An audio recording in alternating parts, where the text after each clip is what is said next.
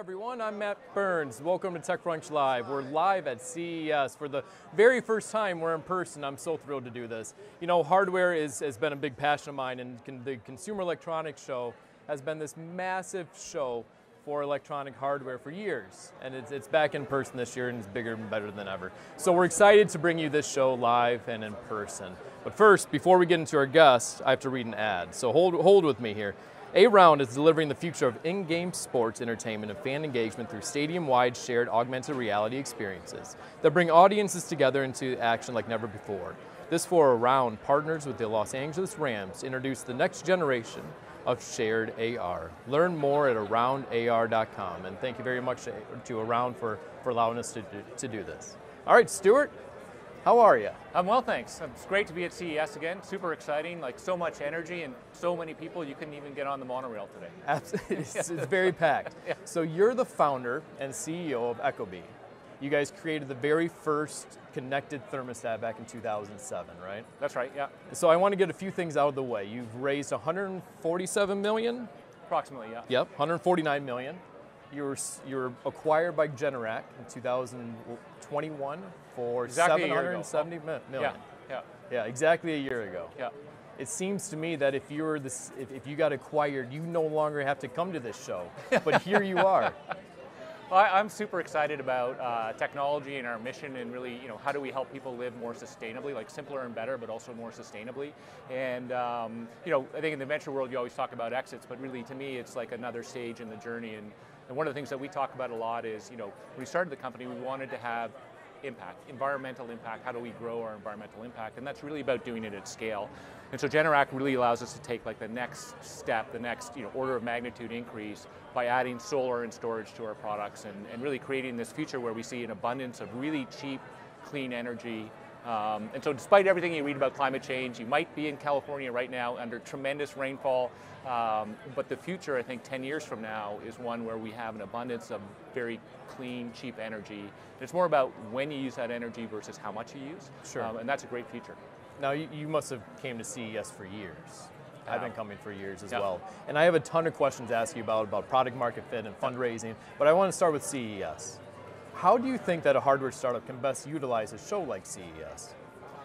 CES is, uh, is awesome, and it's awesome for so many reasons. Um, you know, I think everyone is here, right? And so mm-hmm. whether it's your suppliers, whether it's your competitors, whether it's media, whether it's customers, they're all here, right? And I think one sure. of your challenges as a startup is how do you get attention of all those people, right? And um, and if you're just picking up the phone and you're calling, you know, it's a really hit and miss thing. Whereas you know everyone's here, usually they can spend you know 15 to 30 minutes. Alternately, you know you can go to their booth and you can like trap them and they, they you yes. know you're like a dog on a bone, like they can't shake you, you know. But you really have an opportunity to create some phenomenal partnerships, to meet people, to explain your story, um, all at one time in a very condensed place.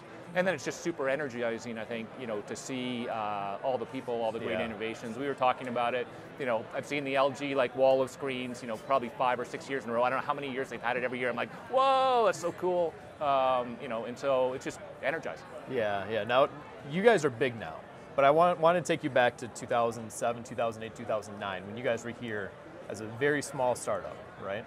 What was your goals and what should a goal for be for like a pre-Series A hardware startup?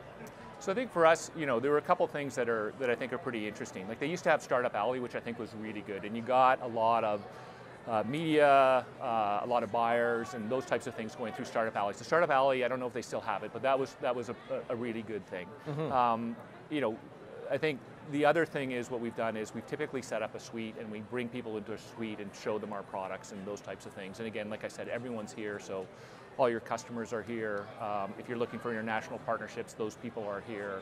Um, a lot of really interesting technology gets showcased here. So, you know, one of the things as a hardware company we're trying to do is figure out like, you know, not just what, what are the components that we know about, but we have this thing we call puzzle pieces where you basically take all the hardware components and you throw them on a table and sure. then you try and put them together in interesting ways to create like really incredible user experiences, right?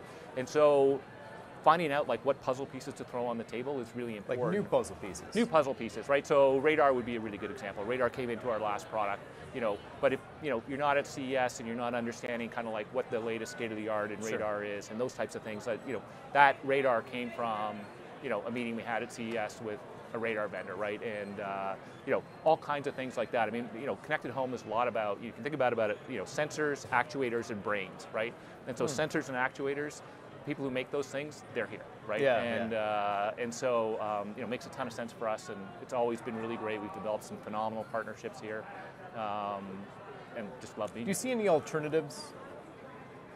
Um, I don't know that there's anything that's as big. Uh, certainly, if you want to be international, I think you know this is a very international show, obviously, and from a hardware perspective, which I think is a little bit different. Yes. You know, getting all the different component manufacturers, seeing what they have on their product roadmap is super, super important. Right. And I don't think there's another place where you can do that. Yeah. Now, should, should a startup have a goal of, of meeting media or meeting buyers or just all of the above?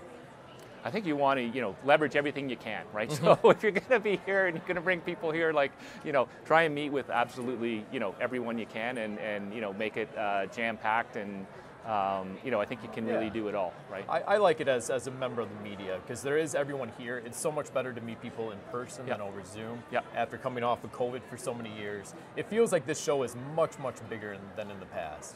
Are Yeah. you feeling that as well? Yeah, absolutely, absolutely. I mean, we're, we're you know we're whatever two hours in, but you know Two just in, just that's coming right. coming in like you know today uh, into the show and walking through the floor, it's jam packed and you can feel the energy again, and uh, it feels like you know 2019. It's uh, Yeah. it's really great. Well, let's take let's go back in time again. So you started in 2007. Why did you start Ecobee? And and what has that mission changed at all over the years? Yeah, we started, I mean, with a really simple idea, which was, you know, how can we help people conserve energy, save money, and reduce their environmental impact? And, um, you know, the insight we had was, I got to pause you. You've said that a lot. It Yep. just rolled right off the tongue, right? It definitely sounds like that's a line that you use. yeah, I mean, that's well, Yeah, that's what it's- it is, That's right? what that's what we started. I mean, it's a funny story, right? Because what happened was I was uh, I was trying to like I just quit my job. I had a I was a v, I was partner in a VC firm, and I had this cushy job, and I was like, screw it, I don't want to do this anymore. And I left, and so my wife was like, "Okay, honey, what are you doing?" Right? and uh, and uh, and so I was like, "I'm gonna, you know, because I had some time, I was gonna like reduce our environmental impact." So I spent twenty six thousand dollars on solar panels, and I went to buy a Toyota Prius. And my wife was like, "Whoa, honey, you don't have a job, and this is gonna break us, right?" And that sort of kicked off this like, what are practical ways that people can you know, reduce their environmental impact. And the insight we had is that heating and cooling is 40 to 70% of your home's energy use. So actually better managing your heating and cooling is the best thing that you can do, but the products in the market at the time were impossible to use. And one day, you know, my wife came home and we had three kids under the age of five and our house was like, I think 50 degrees. My wife mm-hmm. was like, okay, honey, like either you or the thermostat has to go because like, Yes. I, I can't live with both of you, right? And that kicked off the like, how do we, how do we make this better if we could connect it to the internet, if we could use data like weather, energy prices, how much better can we do? And the really cool part is that um, you know our customers have saved enough energy to take the cities of uh, Los Angeles and Chicago off the grid, and I think by next year we'll add Houston onto that. Uh, and so it is a massive, massive impact. Uh, almost 30 terawatt hours of, uh, of energy saved, and so you know significant impact. Right. So in 2007, you guys were prototyping this. What would the market look like? So I mean, it's really interesting actually because um, when uh, you know when we started and we launched the first you know smart thermostat, which was this this one here actually, um, you know we were really oops that's upside down. Uh, we were really proud of it, and um, you know if you go back in time to what that was, this was actually quite forward thinking and all that kind of stuff. And um, you know then of course I think it was 2010. I don't remember exactly, but Nest came out right, and then it was like uh, holy shit, like you know 2011. 2011, Yep. you know, uh, this uh, this isn't that good, right? And, and and I think what it taught us, and it really changed the trajectory of the company, is that the difference between wanting to be good and actually being good are two very different things. And it really forced us to retool and think about what being great is. Um, and really think about what it takes to be great, and Sure. you know, credit the team to like, you know, really go back and you know, not give up and say like the, the, the world is over, um, and you know, create some really awesome products. And uh, I'll just tell one more funny story about that. Like when we started, we were trying to raise venture capital, and venture capitalists were like, Stuart, nobody wants a $250 thermostat. No one cares about thermostats. No one will Sure. ever. Like, you know, and they looked at me like I was an idiot, right? And that was bad, right? And then after Nest came out, they were like, of course everybody wants a $250 thermostat, but you know, Nest is already won. And so then they looked at me with pity, right? And that was Oh. much worse. Yes. it was like you're a dead man walking. And so I guess you know, sort of the, the part of that message, I guess, is you know, is is you know this idea, and, and I think a number of authors who talk about it. Um, you know, really about having a worthy competitor, and they really pushed us to be better. Not that I want to give Nest any credit, but uh, you know, having that worthy competitor, having multiple players in the space, helping us grow the space, and that kind of stuff is really important. Well, I reached out to Matt Rogers of Nest oh, before oh, cool. this interview. Awesome. Yeah, and, and he had a couple questions to ask that okay. I should ask for him. Okay. But but really the main one. Um, I was told I was not allowed to swear on this show. Just kidding. well, no, he thought it was very good, and I think the question I have tons is, of respect very, for, for, for, for, Matt and, uh, and Tony and what they accomplished. It's huge, huge, wonderful. Yeah, they're, they're curious how how the launch of Nest changed your product market fit. You guys were, it seemed like you're going after contractors before Yep. the Nest came out. Yeah. And then Nest came out. So tell, tell me what happened. So I think, you know, there were, you know, and maybe in retrospect they sound obvious, so I apologize if this sounds obvious. But I think the first thing was what I talked about before, which is this idea of like wanting to be great and being great being two different things. Mm-hmm. And when we started and we thought back through the, you know, the, the product that we built, we made a bunch of compromises, right? And I think sometimes as a startup founder, you're like, well, that's going to be hard, or that's too expensive, or they'll never go for that, or it'll take too long. Sure. And so, you know, you start with this great idea, and then you sort of negotiate yourself down, and then you've got like an 80% product. And then if you're like me and your execution is 80%, then you got like a 56% product. A 56% product is actually pretty shit.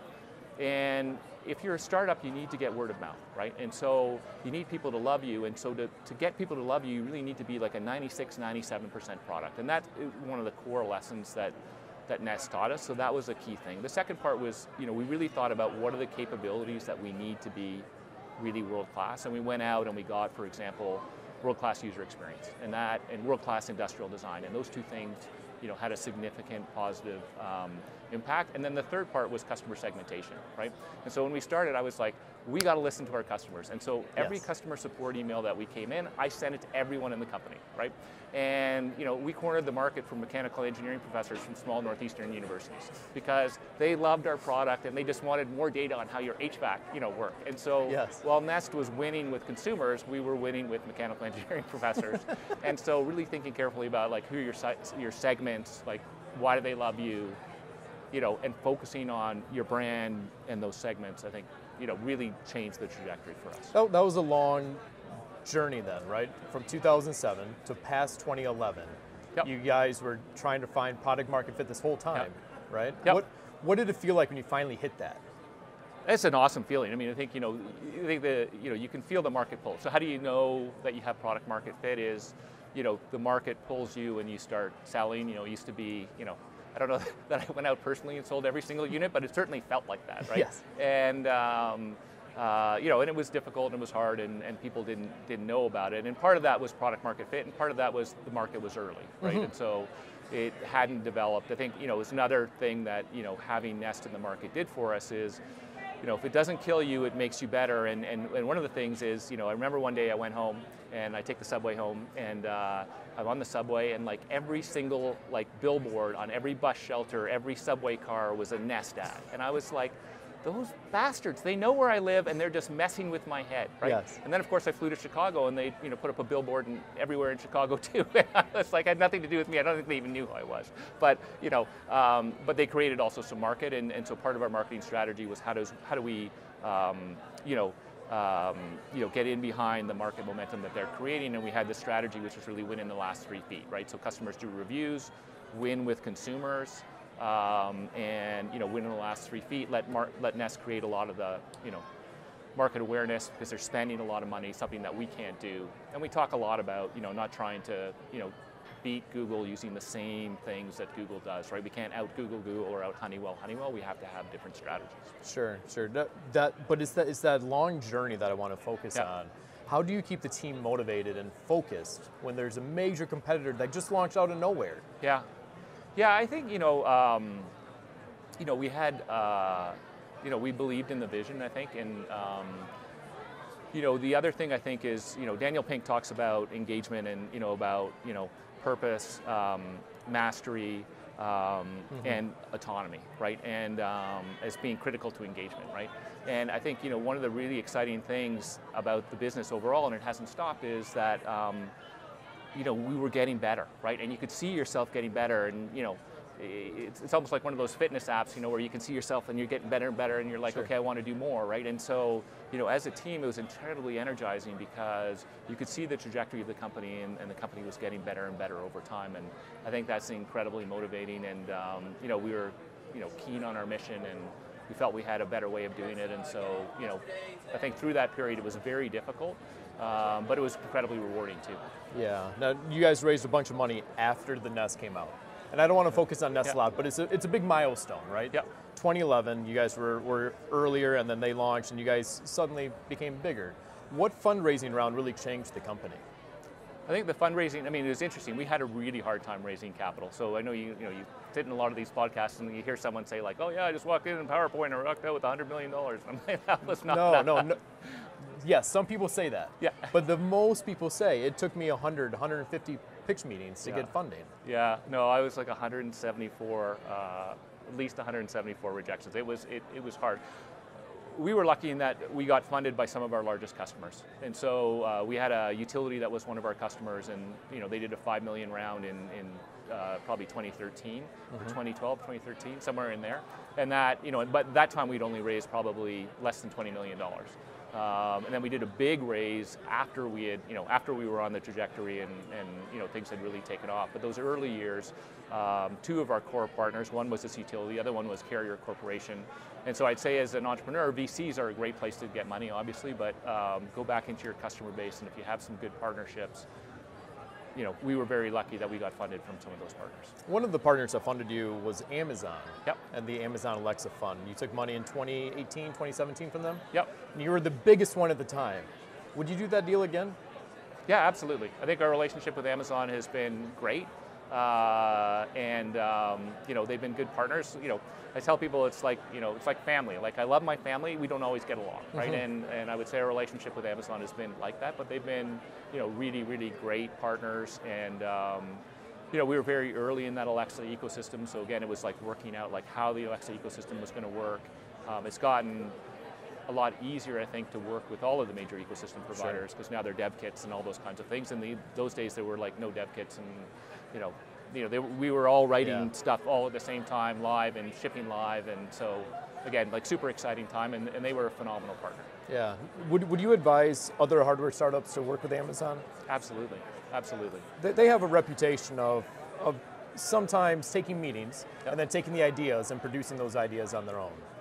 Yeah, I think that's always a challenge. Like no matter who you meet with, right? And and I can, um, you know, I can think of a bunch of meetings in our history where it feels like people took our ideas and went somewhere else.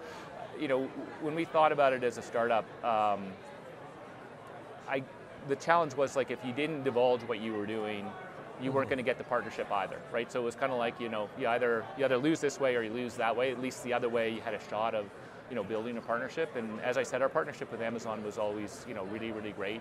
Um, you know they've created their own thermostats. I think at the end of the day, you have to believe that you can stand alone compete in the market, um, or you should get out because um, you know you're going to compete. And, and I think you know um, we're a good example of you know competing with Google for whatever it is, 15 years, and you know I'm still here. You're still here. And, and, and And you found wood, an exit? Yeah. Yep, very good. um, so you know I think you know you can do it, and for us it made us better actually. Yeah. Now you guys went through a, a big prototyping uh, uh, exercise, always, right? Yeah. I was hoping you could take us through that as well. So when, Sure. if you're a young hardware startup, where would you start?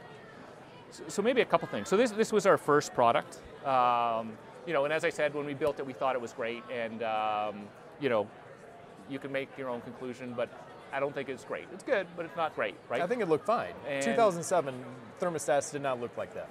and um, but we made one, right?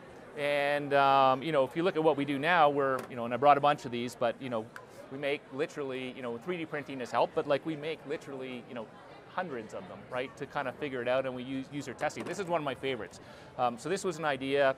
And you know, we were in a room and we're like, this should be like a river stone, right? And when you put it in your hands and you feel it is smooth like a river rock, and you know that feeling. And uh, anyway, and then we showed it to consumers, and the consumers were like, "That looks like an overstuffed marshmallow." Like, Yeah, you know. yeah, yeah, yeah. And so I think you know you want to do lots of iterations and, and, and test a lot and get consumer reaction, understand how it fits with your brand, Um, and that's become a lot easier to do, which is great, and a lot less expensive to do.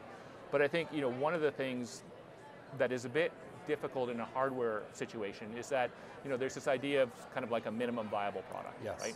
And um, and you might call this a minimum viable product. I think it's more than a minimum viable product. And you're like, I want to get to market, and I think it's really great. One of the things we say is that you know we compete with Apple, right? And you know you might say like, well, Apple doesn't make thermostats. Like, what are you talking about? But when somebody uses our product, the experience they expect is the same as if they're using hmm. their iPhone, right? And if it's not that good, they're like, that's not very good, or that's crap, or you know whatever it is. And so you need to set a really high bar. And so the idea of like getting to market quickly works against you from the perspective of consumers, especially in consumer electronics, expect a really high bar, right? Um, and then once you start shipping in volume, you know, if you run into problems, hardware is way more difficult, right? Software, you just send a patch and you know you're good. Hardware, depending on what the problem is, you can't necessarily patch it, and so really being careful about your testing and thoughtful about that stuff. And you know, we learned the hard way. Um, you know, you have uh, three kinds of problems, right? You've got like the, the 0.1% problems, which are not really a problem because they're a 0.1% mm-hmm. problem. You've got like the 50% problems, which are not a problem actually because you're going to find it for sure. The hard ones are the 4% problems because the 4% problems, if you run like you know a 100-person field trial as an example, you know you might get one, right? And is that a, you know which one of those is? But a 4% problem, like very hard to detect, but if it gets into the field and you have escapes, really, really expensive to fix. Sure. Um, and so you want to do a lot of testing, a lot of field trials, you know, have uh, you know release criteria like what do we have to hit in order from a customer satisfaction perspective before we release these products, and having very disciplined processes about how you do that is yeah. really important. It, it, sounds to me that you're saying don't ship the MVP. Don't ship the MVP. I would not. What is the MVP for then? I think the MVP you want to get uh, products in people's hands as quickly as possible, right? And um, you know, different markets are different, but certainly, like you know, if you think about all the HVAC equipment that's in people's homes, it's probably manufactured over the last 50 years. Um, and then, you know, we were talking about it before, like, you know, we live in Canada. You know, when we started, I didn't come from the HVAC industry. I knew nothing about HVAC. None of us knew anything about HVAC, actually. Um, and then all of a sudden we went to Arizona and someone in Arizona was like, yeah, I want to air condition and I want to, you know, humidify at the same time. And we're like, nobody does that, right? That's crazy talk, right?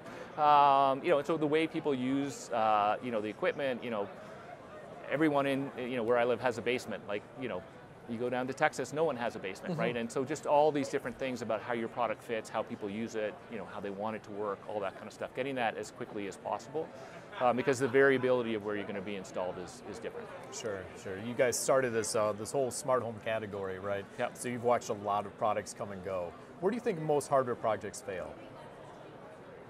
Um, I don't know, sort of that line, like, you know, each family is unhappy in their own way, right? Uh-huh. Like, it's hard to, I think it's hard to generalize. I think, you know, if I thought through the things that were uh, really important to us and things that really made a positive impact, uh, it was those things. It was really thinking carefully about um, our brand and our customer segments, right? So, who are the people that we're trying to serve? You know, who are the people who are going to get us to cross the chasm? Um, and then thinking about our brand and thinking about like what do those people care about, what do we stand for, and how do those align? That was really, really important. To figuring out like what are the real critical competencies we need to be successful. Um, so that was another uh, you know key piece. And then three is really setting a high bar, um, you know, and winning with consumers and really you know making sure that you win with word of mouth. Because if you can get word of mouth, you know, no amount of spending can overcome word of mouth, right? right and so, right. you know, having a customer love you, tell their friends about you, and all that kind of stuff. There's nothing, you know, more exciting. I mean, I remember when we started, my wife was like, we'd go out to like someone's house for dinner or something like that, and she'd be like, if somebody asks you like what you do for a living, can you not tell them? Can you lie, right? Because nobody wants to talk about thermostats, right? And then like a few years later, everyone was like, oh yeah, I've got my Ecobee, it's like so cool, and I'm like interconnected home, and here's my camera, and I want to talk about it and all that kind of stuff. And so, you know, that having consumers like talk about your custom, you know, your, your products and tell their friends and tell people how great it is is a great way to move the, you know, the needle on your on your product. But consumers are ficky or fickle, right?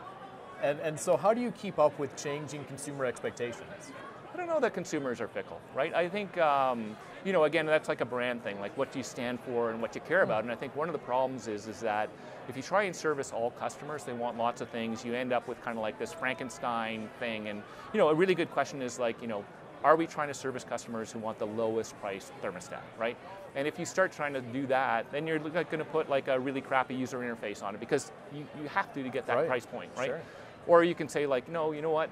There's a market for that, but that's not the consumer that we're going after. We're going after, in our case, like a you know mid to premium consumer who's willing to pay for quality, you know, wants a product that's going to be installed in their home for the next 10 to 15 years. And you know what? It's going to cost a little bit more, but there are lots of things that um, you know cost a little bit more that I'm happy to pay for quality, as long as I get the quality, right? Right. Um, and those types of things drive compounding decisions, and you know, things like you know sustainability is another good one, right? And, and I think it's becoming more mainstream. But you know, it used to be like, well, you know, lots of people hate sustainability, and you know, you're going to piss off a lot of people because they're like, you know, I don't believe in that stuff. And um, but if you don't stand for something, then you know it's hard to cross the chasm. And so those people who are who love you, you want them to really, really love you, right? And you know, hopefully you can bring the rest of the people around. But having a few people who love you a lot is way better than having a bunch of people who are like, meh. Right, right. And I think one of the reasons people love you guys is you just sell the product and there's no subscription service. But, but with that, there's no recurring revenue. What did your investors say to that along the way? Yeah, I think um, you know we do a number of things. So one is um, we see a strong nexus between security and energy, right? And so if you think about you know how we help people manage energy better, um, it's really about understanding what's happening in your home and context, right? And, and really you manage energy in one of three ways. You're either home and awake, you're home and asleep, or you're away. So if we can understand that, um, you know, we can do a much better job of managing your energy, right? And so, you know, we started putting sensors around your house, and then we were like, now we have these occupancy sensors and temperature sensors, which was really about how do we make people more comfortable. We were like, that's a security system, right? And our customers were telling us, like, you've got a security system. Like, why am I paying for, you know, whoever my security provider is? And so that really drove us into security, which is a recurring revenue service, and um, you know, we feel customers are really happy about it. The other thing we're doing is we're working with utilities. Um, and we've created a thermal model of your home, so everyone is, in, is individualized. Um, and we create a comfort model so we understand the temperatures that you're comfortable at. And that allows us to adjust the temperature in your home without impacting your comfort. But that also allows us to um, you know, work with utilities to drive lower energy prices across the board, and customers get benefit from that. And about 20% of our customers are in utility programs and see tremendous benefits from those. And so you know, there are a bunch of things that we can do and, and, and, and work in different ways. Um, and again, I think you know, part of what we're trying to do is you know, we're designing products that are built uh, for your home, not for landfill, right? And rather than like, how do I upgrade you to the next possible product and, you know, can you buy this next product that I have two years from now? We're like, we want to be in your home for the next 15 years, right? And, you know, create this software platform that allows us to deliver, you know, better services over time. And so, you know, somebody, I never thought I would say this, which is like, my thermostat has a 1.5 gigahertz quad core CPU with, you know, two gigs of flash and 500 megs of RAM. But it does, right? But why does it have that? It's got like five radios in it. Like, why does it have that? Well, it's so that, you know, it's software upgradable over time. And as we improve the product, you get the benefits of all those upgrades. And ideally, we're going to have a very long-term relationship with you because, you know, you get all those benefits. If we went the other way again and said like, hey, we want to be the cheapest thing in the market, don't have enough memory, you don't have enough CPU, you can't do some of the things that we're doing that you know we think will have significant benefits for consumers over time. I think it's great that you guys can say that. It, it's that's a really hard thing to sell to investors, though. That, that we want to be a 15-year product. Yeah. We don't want people to buy our new product. Yeah. So, what advice do you have to hardware startups that want to follow your steps? I think one of my favorite lines is a line from Scott Adams, who's the Dilbert creator, and it's like venture capital is the only profession where you get paid an outrageous amount of money to be wrong 90% of the time, right? And so, you know, I think it's bad at like, you know, we were talking about that. I think you know we were rejected 174 times for, for venture capital, and um, you know, I remember VCs telling us like, fail fast or give up now, right? And Right. Um, uh, I don't smoke, but I remember like in the days when everybody used to smoke outside the building, and I came down from this venture capital firm that told us like to fail fast and like Stuart, it's all over. Don't like you know, don't waste your time. And I was so stressed. I was like, I bummed a cigarette off somebody, and I'm standing outside. It's a February day, and it's like freezing cold, and I'm like smoking the cigarette. Don't tell my wife. And um, I'm like, should I quit? Should I quit? Should I quit? And I'm like, you know what? I'm not quitting until like they take the keys out of my dead hand. Like I'm just like, you know, I'm all in and I'm, I'm committed and and you know the, the short answer is people don't know. Nobody knows, right? Only you know And if you're committed and you're excited about what you're doing and you know you can create great products, you're going to do well. And, and for all the complexity there is, business at the end of the day is actually quite simple. You know, if you can build a great product at a reasonable price and provide reasonable service, people are going to love you, right? And that's whether you know you go to a hotel or a restaurant or you know you buy a mm-hmm. hardware product or whatever it is. Like, and so you know focus on those three things, sure, and the rest takes care of itself. Now I looked at your cap table a lot, yep. and Relay Ventures has seemed to be a very good partner for you guys. How did you find Relay? Well, I was a partner at Relay Ventures, so oh. Uh, that helps. So, yeah, so, so uh, when I started my first, I started one of the first internet service providers in Canada back in 1994, and I met John Albright, who's the managing partner, uh, mm-hmm. when I started that business, and um, we did a deal with John uh, back in 1995, and I've been good friends and colleagues with John ever since then. And I spent eight years as a partner in a venture capital firm, and then I woke up one day and I was like, this is not what I want to do with the rest of my life. And you know, it was quite funny because when I, you know, quit that job. Um, you know, people are like, "You quit that job, like being a partner in a venture capital firm, to start a thermostat company?" you know, like, yeah, that's you know, you're you're you're bananas. Anyway. Yeah. So I, my question is is really how do you find that first partner, and, and what should you expect from them? Um, I think you want to know that you're aligned uh, in terms of like vision and where you want to take the business. Um, and you want to understand kind of what their track record is you want someone, especially in the early stages, someone who's really committed to the long-term vision, right? And um, you know, red flags are things like structure and lots of terms and all that kind of stuff. Because I think as an early stage investor, you know, you don't make your money on like you know, getting you from let's say uh, I'm making up numbers like a 25 million dollar you know pre-money to like a 32. You know, mm-hmm. it's like you're going from like 25 to like 500, right? Sure. Or whatever the number is, right? And so it should be simple, it should be fairly easy and straightforward. Um, it's very anecdotal, right? So when I was a partner in a venture capital firm, like, you know, you'd like to think that it was, you know, I'm quite analytic. One of the reasons I was not a good venture capitalist was because, um, you know, I'm quite analytic and I always wanted yes. to like, you know, work out the numbers and the math and all that kind of stuff and, and I could never do it. Um, and, uh, and so you have to, I think, as an early stage VC, believe in the, in the promise. Um, and in many ways, you know, when you're starting a business, the easiest time to sell your business is not sell it like sell it, but sell it to VCs is when you have nothing, because you know there's only upside from there, right? Sure. You don't have any problems, you don't have a revenue track record, you know, and then it's about you know taking lots of meetings, meeting lots of people, creating relationships. I mean, I think one of the things that always surprised me when I was a venture capitalist is, you know, everybody sees like something like, you know, a partner will see something like 500 business plans in a year, right? I don't think that, you know, that number is controversial. No. Um, and so right. people would send me a business plan and I'd never hear from them again, right? And it goes into one of three piles. It goes into the like, I'm super excited pile, which is a good pile. It goes into the I'm not excited at all pile, that's also a good pile. And then it goes into the middle pile, which is like, hmm, maybe, right, maybe let me think about it. And those ones just keep stacking up and you, you know, you fall down the list and you get lost. And so, but you know, if you're not calling me, you don't want to bug me, but if you're not calling me like on a sort of regular cadence to say like, hey, how's it going? Like, just can I, you know, tell you any more information? The number of people who sent in, or you know, we had a meeting and I never heard from them again was high. You know, I, have done a lot of these interviews, and, and we've talked a lot about board members, but yep. there have always been SaaS companies or medical companies, yep. never hardware. Yeah. What should a good board makeup be for a hardware company? I think you want like a good a good group of independents um, I think also you want to know, um, you know, what you want out of your board as a CEO, right? And so, are you looking for like a Rolodex? Are you looking for connections? Are you looking for operating advice? Um, you know, I think some of my best board members were people who had sat in the seat that, you know, I was sitting in, but had you know developed the business like a lot further. And those people were super helpful because they really um, you know, cut through a lot of the noise, first of all, in terms of like helping the rest of the board stay focused on like, let's just stay focused on what's important.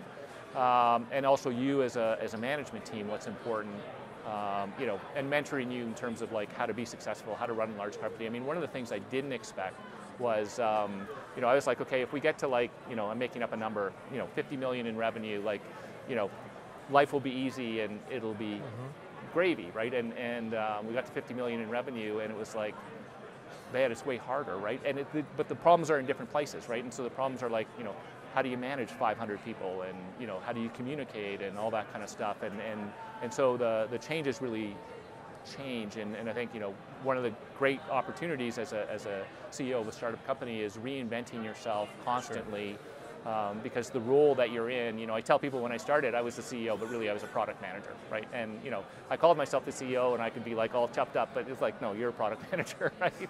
And um, you know, now, you know, there are about 600 people at Ecobee, and so how do you manage like 600 people? How do you keep them engaged? How do you keep them focused? You know, some of the things you talked about, that, that's a different skill set that I did not appreciate. Where, where, where do you feel insecure about your leadership?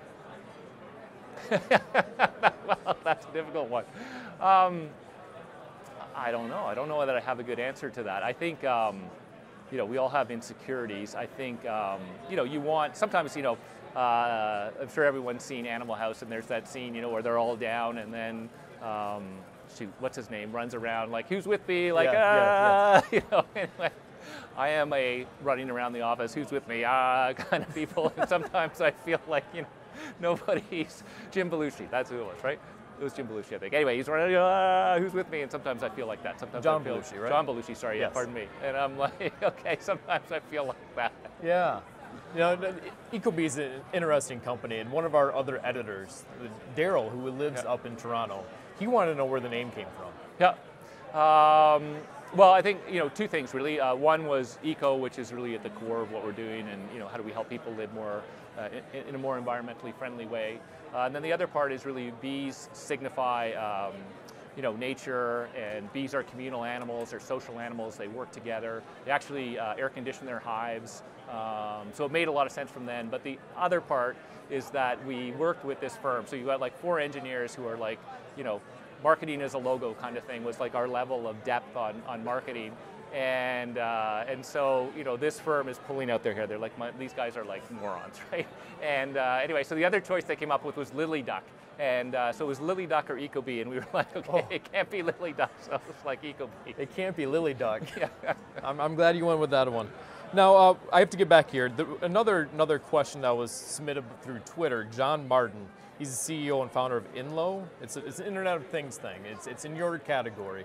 He really wants to know, and we talked about this briefly, but, but how can you make a profit? Does anybody make a profit in your space? are you, so. are you guys profitable? Yeah, I think so. I think absolutely.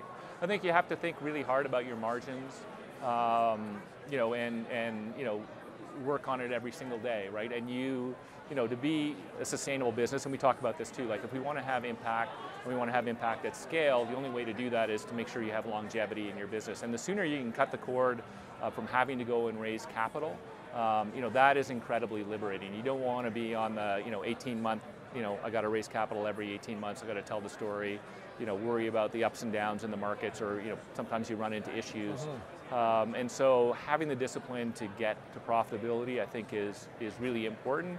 And I don't think it is. Um, like I, I, I think you can get there. I don't think it's a, you know, it's an impossible task, but you need to be very disciplined really in terms of thinking about what are the important things to move your mission forward, right? Okay. And trying to do less, right? And we generally try and do a lot of things. And if I look back and I'm self-critical, I would say there are lots of things that we did that, you know, we started and they were good ideas, but mm-hmm. you know, we didn't either put enough weight behind them to turn them into really great things, um, you know, or we lost confidence or whatever it is. And, and so if I could eliminate all those things, um, you know, we'd be way better. We would have been much further ahead, all that kind of stuff. And so, you know, being thoughtful about cutting those things, and I think there are quite a few things where, you know, staying focused and really trying to do a few things well, right, rather than many things kind of 70%. Were you guys profitable when Generac bought you? Uh, we were, and I think you know the um, or our core thermostat business was. So we, we separate things into like our core business and then okay. our um, our uh, our new business. Security would be a new business for us, and so you know we think about how we invest in those businesses in a different way.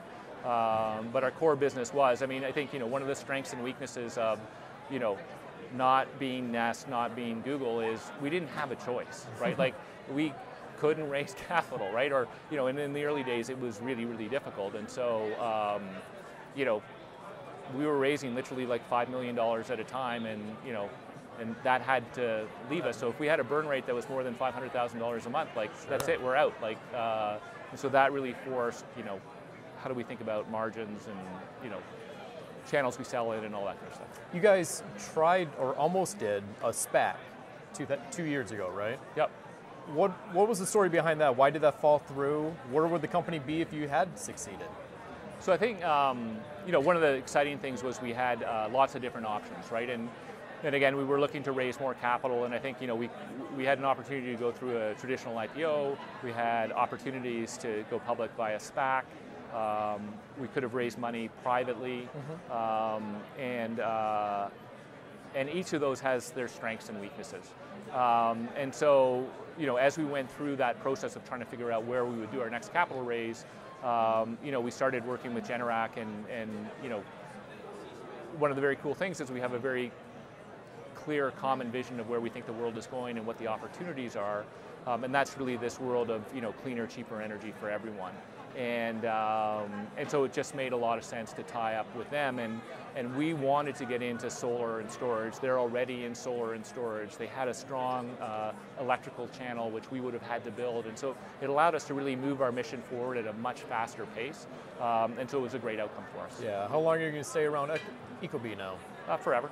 Yeah. Yeah, This- yeah. this No, I'm it. excited. I think like the uh, you know we talked about this a little bit. Like you know people say it's an exit, um, and it's an exit for your VCs, but it's not an exit necessarily for you as a founder. And I think you know you can exit in a bunch of different ways. And this is the third company I've, I've started. I've sold all three. Um, and what I realized when I sold my first company is that like it was an exit. I made some money, it was great, and then you know the new buyers like ran it into the ground, right? And you're like, okay, I put my heart and soul into this thing, like, you know, like, um, and so it was really an exit, right? And um, you know, I think you know, it, for us again, it, it was it's I see it more as a fundraising thing uh, because it allows us to really you know continue on our mission and, and, and really you know take the next step, add solar and storage. You know, I think from an energy perspective, if you look at what's happening, price of renewables is dropping precipitously. Um, so solar is the cheapest power you can buy anywhere, two cents a kilowatt hour. Um, you know, you're electrifying everything, so EVs, heat pumps, those types of things, and then you're connecting everything. And if you look at, you know, California curtailed enough clean power to power, I think, 200,000 homes in 2021, right? Right, And that's yes. doubling every single year, Yes. right? So if you're a smart thermostat and you know that there is free clean power on the grid, you can take advantage of that, right? And that combination of you know being able to you know take advantage of energy arbitrage. Um, so it's a combination of cheap solar, um, storage, but then these intelligent appliances that understand what's happening in your home in context, understand what's happening on the grid or what's on your roof, and then modulating the way they use energy to take advantage of those arbitrage opportunities creates you know amazing opportunities I think for consumers. I don't see why your wife uh, doesn't let you talk about this at dinner parties.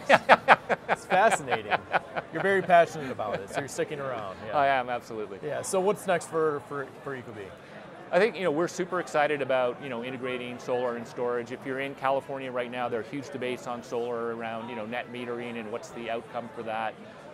You know, if you put solar panels on your roof, I tell people, um, you know, I have solar panels on my roof. I put them in, I think, in 2010, no, maybe 20. Uh, anyway, long time ago. I get paid 82 cents a kilowatt hour for everything I generate. That's a lot of money, right? Um, you know, and then about five years after that, you know, company utilities started saying, well, I'll pay you what you would pay me. So if you were paying 13 cents a kilowatt hour, I'll pay you 13 cents a kilowatt hour for what you export. Now they're saying like, we won't take what you're exporting, right?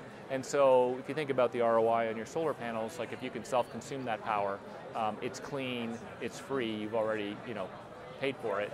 Um, and you're just going to see more and more of that because when you look at the energy markets, you know, coal is like at 13 cents and nuclear is at like 13 cents and then gas is at like 7 cents but wind is at 5 and, and solar is 2 and so you know they clear the market first every single time and, and if you're you know one of those other things it's not government regulation that's driving those off it's economics because you just can't make any money and so having these intelligent devices that you know understand what's happening and, and can take advantage of that I think is a, is a huge opportunity. Well, I learned a lot today, and they're turning the lights off for some reason. I don't know why.